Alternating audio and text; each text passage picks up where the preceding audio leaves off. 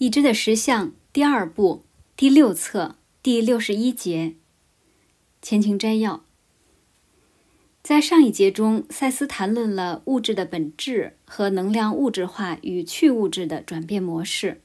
借此，我们了解到几个很关键的知识点。首先，本真宇宙中只有意识能量波，能量波的快慢与扭曲形成了有形、有相、有质地的物质。就像是湍流中的漩涡，它可见、可感、可互动，并且有着自己真实的想象力，但它却本无一物。漩涡就持续存在于那里，这是客观事实。但构成它的粒子却在快速地替换着，没有哪个粒子属于这漩涡，但它们却又构成过这个漩涡，或正在与将要构成这漩涡。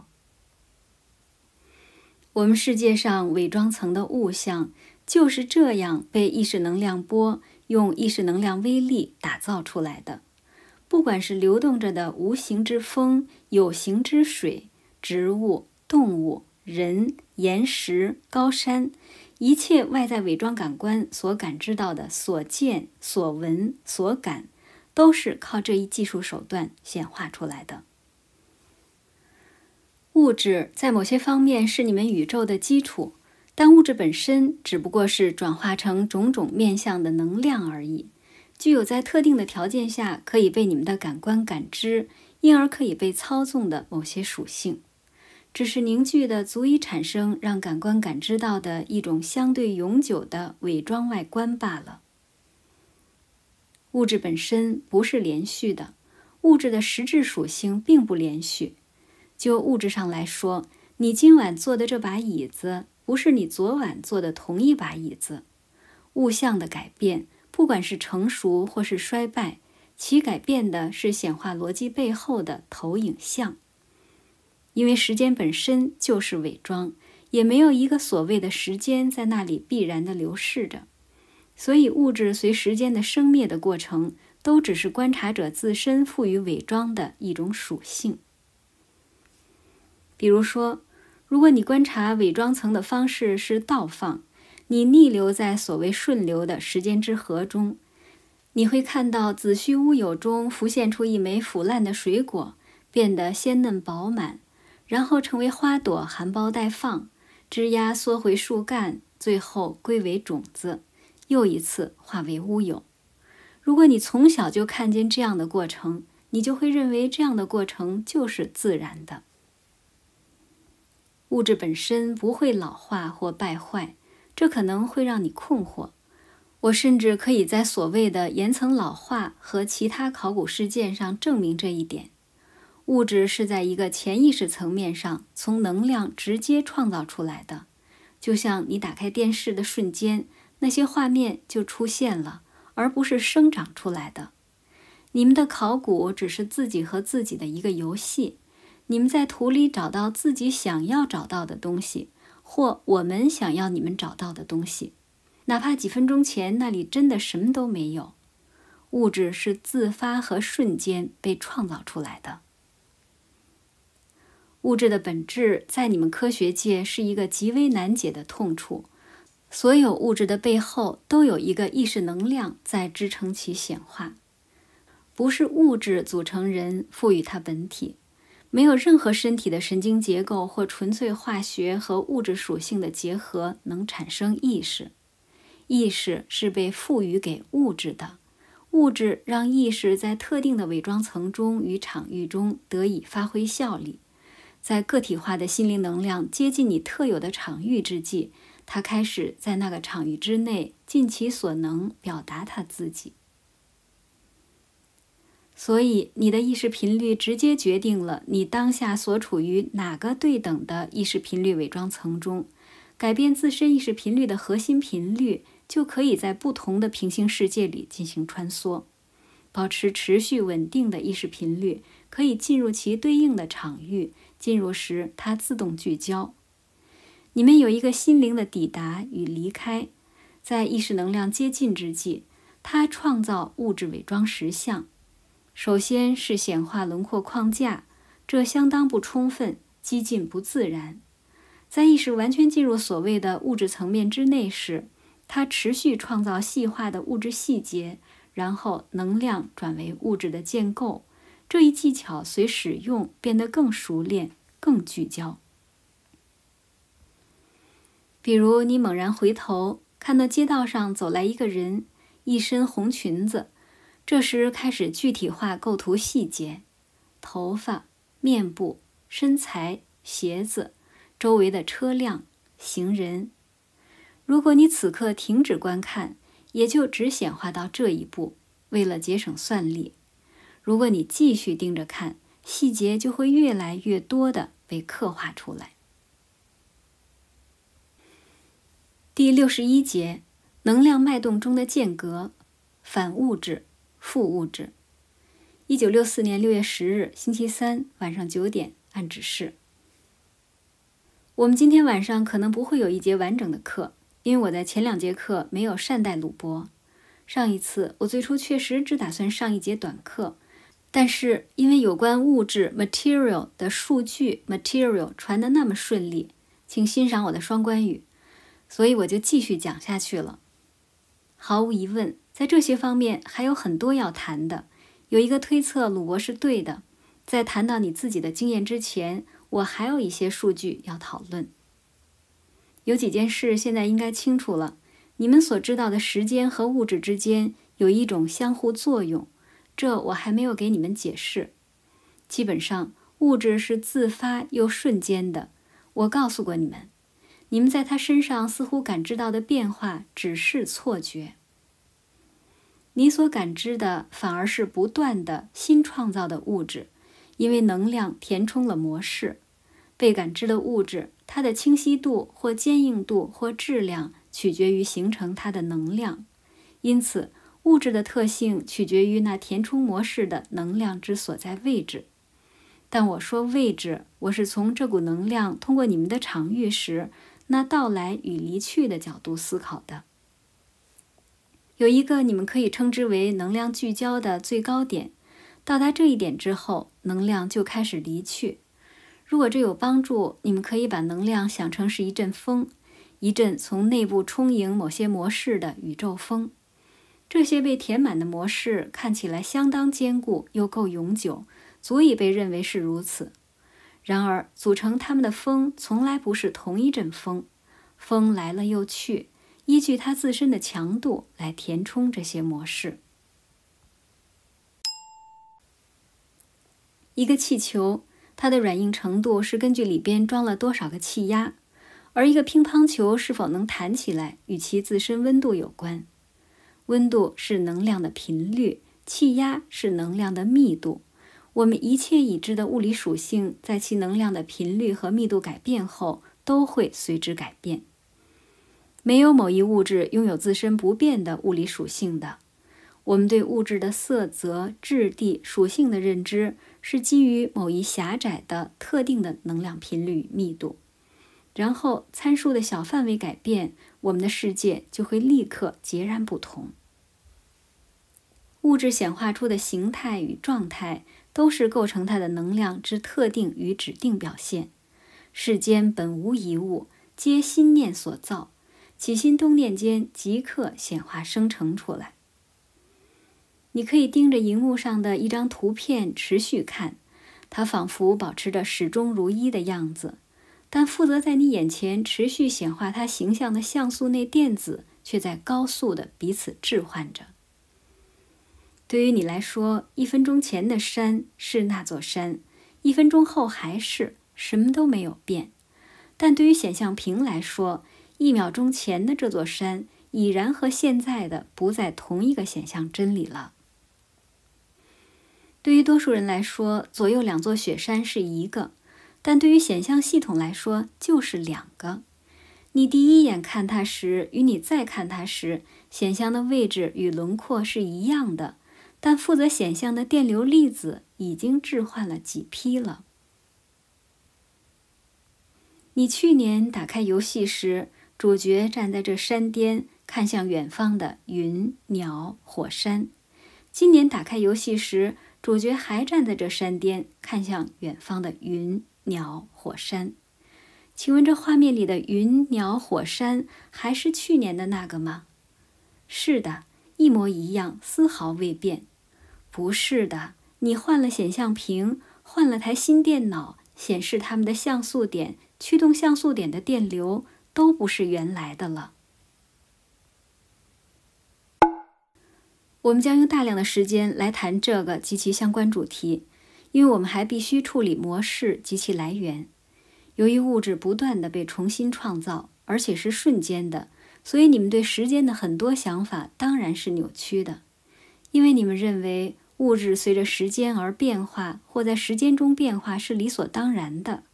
你们从一个既定物体的貌似变化来判断一个时间间隔。我们生活在由针串联起来的时空切片中。并通过自我意识和人生蓝图、意识频率串联起不同的平行针，构成看似连贯的人生经历记忆。当你看三格图时，你会默认这三个全然不同的人为一个。为什么会这样呢？当你看图的下半部时，这就是灵体看见的我们。在高维眼里，我们就犹如同时存在的一连串残影。每一个你都同样的真实，同时存在于不同的时空真理。这个不是那个，那个不是这个，因为构成这些残影像的粒子都是全然不同的。我们的脑子里又被植入一个程序，就是自动忽略细微的显像纰漏与自动默认单一物体的连贯性。视觉暂留也叫视觉记忆。是人眼对形觉和光觉刺激的一种滞后和维持现象。光的刺激在停止作用之后，仍会在视网膜保留一段时间，这个时间大概是十六分之一秒，也叫视觉延迟。这是神经传导的生理特点决定的，也就是说，人眼的神经传入机制决定了人眼的输入信号不是连续的，而是像脉冲一样，在两个脉冲之间的其他信号。很有可能会被忽略，因为人眼感觉不到。视觉暂留和视觉拟动是人类影视艺术发展的基础。早期的电影受限于技术，拍摄频率较低，大概一秒十六帧，所以现在看起来有种断续动画片的感觉。比如早期卓别林的电影，现今流行的胶片速度都是二十四帧，画面更流畅。基于以上原理，我们可以创造出很多充满艺术感甚至充满奇异的视觉幻觉作品。比如下面这个神奇的舞蹈者，不同的人观看到的旋转方向各有不同，甚至同一个人也可以有顺时针和逆时针不停变换的错觉。网络的解释五花八门，而真正的原理就是视觉拟动现象在搞鬼。同样的道理，直升机的螺旋桨、汽车的轱辘，这些东西一旦超越了我们的观察刷新速度，就变得不可见了；而在与我们视觉刷新一样快时，看着就仿佛静止不动一样。我们生活在一帧一帧的非连续空间内，却感受到连续的人生记忆，这就像我们的显示屏刷新率一样。你觉得自己的显示屏是一闪一闪的在播放电影吗？可是它确实是一闪一闪的在逐帧播放着画面。真相与自我能感知到的事实往往是两码事。这让我想起了你们的错误因果理论。就实际目的而言，到目前为止，这个理论还没有太大的约束力，但它逐渐变得如此。时间不会引起物质的变化，表象恰恰相反。我打算跳过一大步，直接说，人类自己以及所有有意识的存在体都在潜意识中产生物质。稍后我会补充相当重要的细节。我想指出这一点，因为物质是潜意识创造的，因为它是同时且瞬间存在的。因为它的创造或到来，以及它的离去或替代都是瞬间的。一旦理解了这一点，至少在理论上就有可能重新创造过去的物质，只要物质的模式还一直被保留着。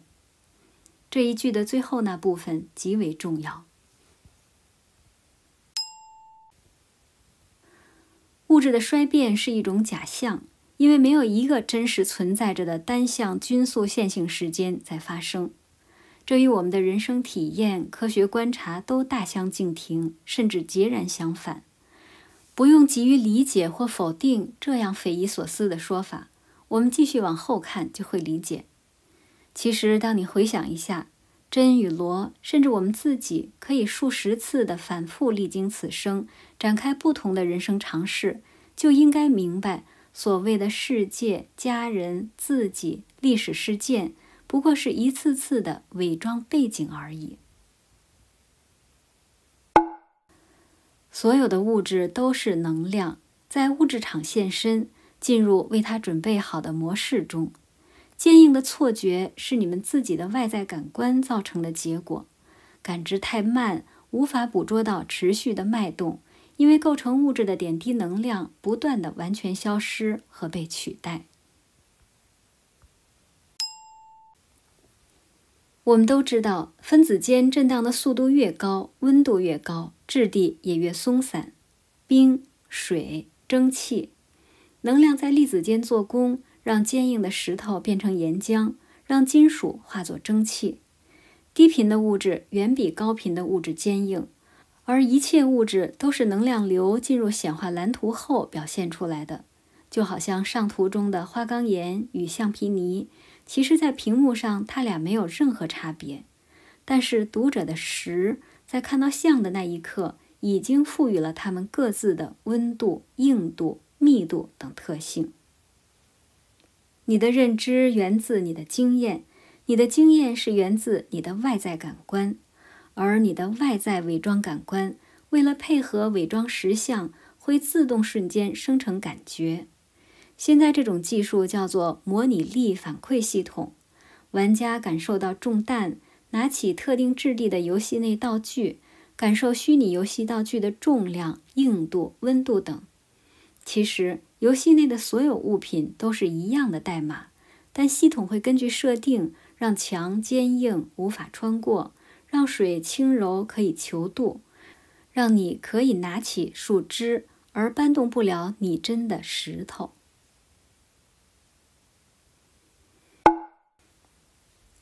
在能量脉动中，当你们的物质世界不存在和确实存在时，都有着同样多的间隔。为了我们当下的目的，我们将称这些间隔为负间隔。这个特殊的理念是我最关心且想要传过来的。我希望我已经为它垫好了基础。当我使用“间隔”这个词时，我当然是为了让这个理念可以理解。事实是。你们场域上的物质是由持续的能量脉动所组成，虽然对你们来说，外观在相当程度上是永久的，而我也说脉动是持续不断的。然而，它们是完全不同的、分开的、全新的脉动，不是你们用在一个连续的物体上所说的那种连续。因此，当一个脉动从你们的层面上消失，而另一个脉动即将取代它的位置时，就会出现我所说的负间隔。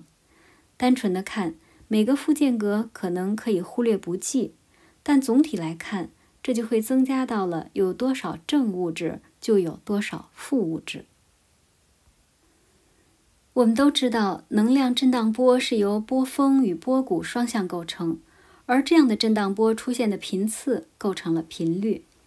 显像频率越慢，构成的画面越粗糙。信息含量越少，频率越快，画面越鲜活，信息含量越多。为了能在单位时间内显化出更多的信息，系统使用了多频显像技术。这样，一个可见像彻底消失前，下一个可见像就已生成并显化，如此交替，维持持续的无缝伪装像连接。所以，有修行的人看世界时，感觉世界的色彩更鲜艳，亮度、色差、饱和度更丰满。不过，有可见的显像波峰，就必然有对等的波谷，及不可见的部分。红线下的部分实际上远多于红线上的部分。那些不可见的部分，我们叫做暗物质，暗物质是由暗能量驱动产生的。现在，我们人类在本伪装层中，肉眼可见加上仪器可见的物象部分总和是百分之五。换句话说，就算是你身边一米见方的周围，有百分之九十五的物质实相伪装物是你看不见、感觉不到与不认知其存在的。这百分之九十五就构成了多维多元平行套叠时空。就好比你的电视可以接收二百个频道，而你每次只能观赏一个。它们都同时存在，却彼此互不相见。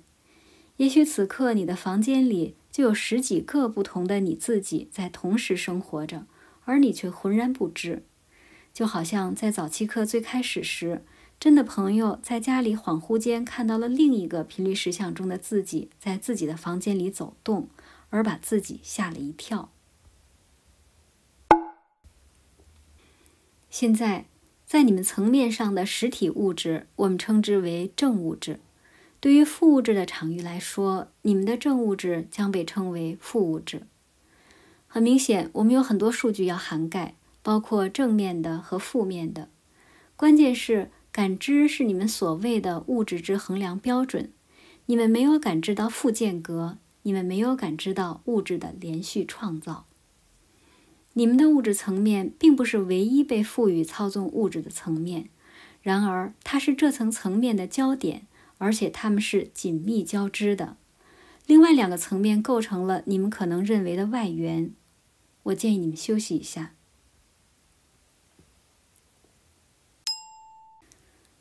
当你觉得其他平行自我是自己的副本替身时，那些同样真实的对等自我，也在这样看待着你与你所在的这个伪装世界。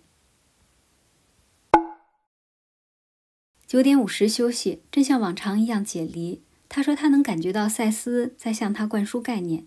他说好像他能吸收一品托，但赛斯想让他接受一夸托。虽然如此，他感觉他今晚对他很宽容。当他再次传述时，节奏正常。十点继续。我说过这节课会很短，它会很短。我想就你们休息期间的讨论再说几点。你们说的很对，我们的负间隔的确与反物质有关，只是我比较喜欢称它为负物质。你们可以选自己喜欢的用。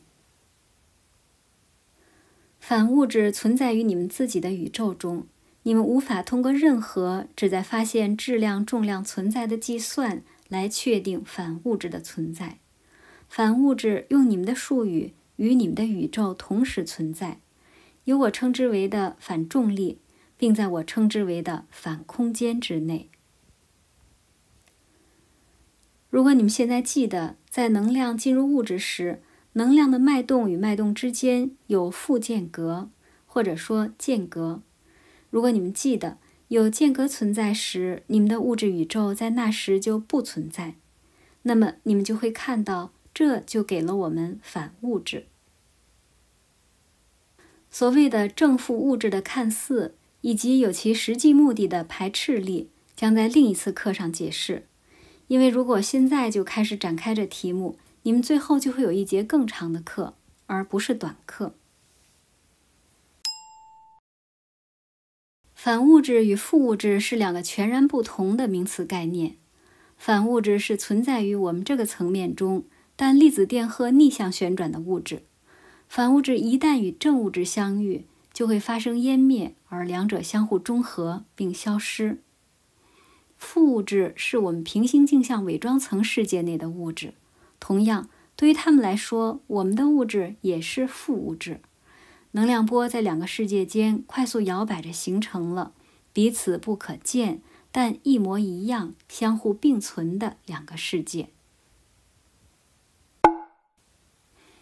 当我说我要结束这一节课时，我希望你是意犹未尽，而且会觉得失望，甚至是鲁博。我说过，过不了多久，你们就会学会利用额外的能量，甚至不假思索地利用它。同时，由于许多原因，各次课程所耗费的能量会有所不同，有些与特定资料本身有关。为此，你们有时会需要一些休息。我在此遗憾的、非常遗憾的说声晚安。十点十二结束，真像往常一样解离。他说他感觉到的疲惫和一般课程结束时一样，完全不像上一节课结束时那么累。我们俩都没有发生手的现象。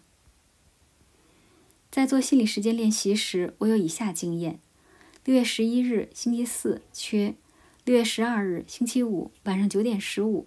一旦达到所需的状态，我就经历了我一贯的所暗示的轻盈的感觉。